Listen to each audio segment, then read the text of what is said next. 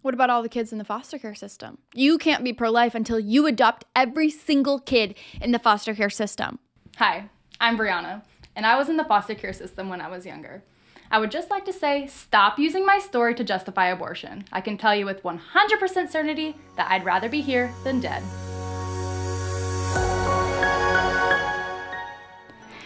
This is arguably the most common response I get from pro abortion advocates when I say that I'm pro life, and it is wrong on so many levels. First of all, the purpose of the foster care system is to reunite families. It is a temporary placement of children and youth with families outside their own home due to child abuse or neglect. The goal is to provide a safe, stable, nurturing environment. While many are adopted from foster care, the purpose is to reunite families. Sometimes parents just need time to get their lives adjusted and back on track. Now, something pro abortion advocates never talk about is adoption through an adoption agency. Right now in the United States, there are an estimated 2 million couples on a waitlist to adopt, which means there are about 36 couples for every one child. There is not an epidemic of unwanted children. They just need to convince you that there is so they can justify killing millions of babies every year. While it is true that the foster care system is imperfect, this does not justify abortion. Can we kill a child because there's a possibility that at some point in their life he or she may need to be in the foster care system? Why would you kill somebody so that they never suffer? Is dying really better than living a difficult life? No, death is not a solution to suffering. No one should get to decide who lives and who doesn't. And how privileged is that stance? Well, I have a good life. I'm happy and I definitely deserve to live. But those who are worse off than me, yeah, they should probably just die. Are you kidding me? And if pro abortion advocates cared so much about the state of the foster care system, why aren't they working to improve it? Oh, oh, right. Because they don't actually care. Anytime somebody uses this argument, just ask them to think about what they said for a moment. They are saying that those who may suffer are better off dead. That is the root of this argument. They are using the foster care system as a justification to kill somebody because they're a burden, they need protection and care. When we are addressing this issue, we must identify what the actual problem is and work to improve it. The problem is maybe that the foster care system is not awesome. The problem is not that the baby exists. We need to shift our focus on what the actual issue is instead of blaming the innocent, precious child for all of the problems in the world. These babies already exist from the moment of conception, but our circumstances do not define our humanity. We all go through hard seasons in life, it is inevitable. Suffering is a natural part of the human condition.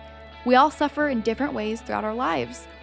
As fellow human beings in this flawed world, we should always work to eliminate suffering when and where we can, but never eliminate those who suffer. It is so offensive for people who have been in the foster care system to be told that they are better off dead. These kids are not a drain on our society deserving of death. They are humans who happen to need a little help in order to get through some tough circumstances. Whether they end up being placed for adoption or they end up back with their parents, they still deserve the best chance at life like everybody else.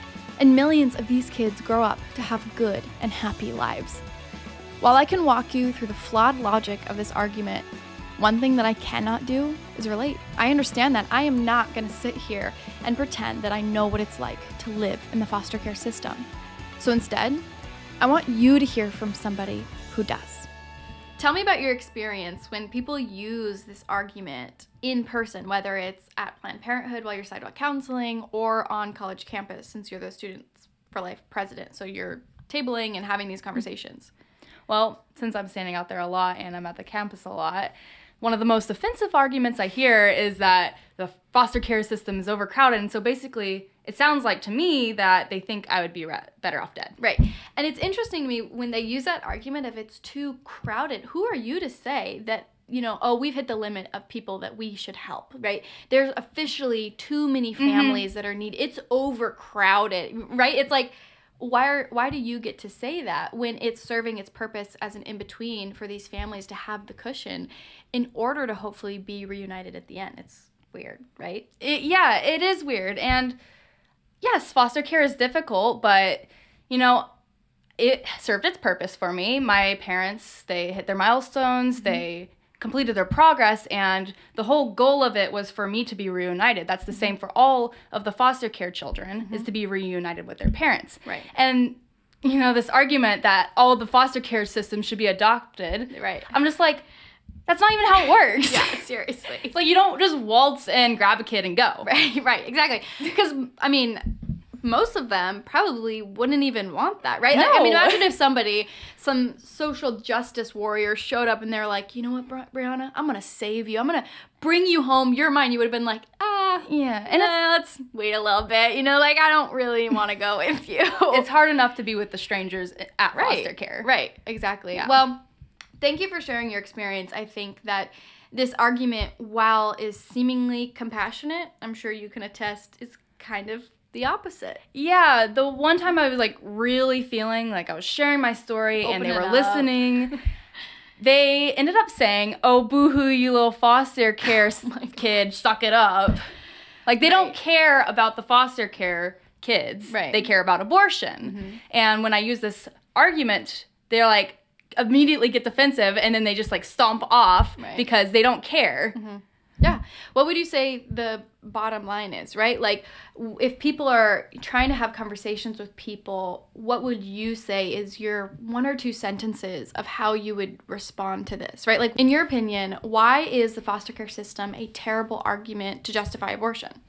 It's a terrible argument for two reasons. The first is because it denies the whole purpose of the foster care system. And the second is just because I was struggling or poor or in need of protection does not mean that I or any other foster child deserves death. Circumstances change, life gets better, and where there is life, there is hope. But abortion is permanent. Abortion leaves no room for hope. Choosing life is not always easy, but it is always right.